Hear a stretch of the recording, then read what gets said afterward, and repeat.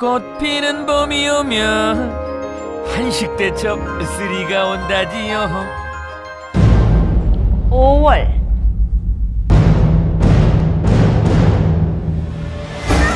살아 숨쉬는 한식의 향연 한식 대첩 세 번째 이야기. 5월 간이 딱 맞습니다.